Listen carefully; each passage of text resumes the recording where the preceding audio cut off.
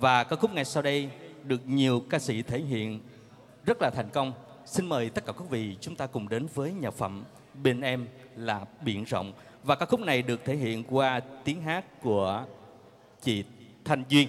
Xin mời tất cả quý vị chúng ta cùng dành một tràng pháo tay thật nồng nhiệt ạ. À.